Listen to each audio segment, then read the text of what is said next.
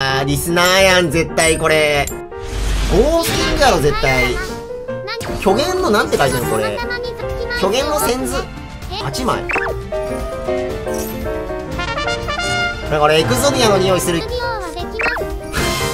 これ、大王やろ。エクゾディアやろ、絶対。ちょっとアンケートとかその、えー、戦闘機 ?10 万人ぐらいいる。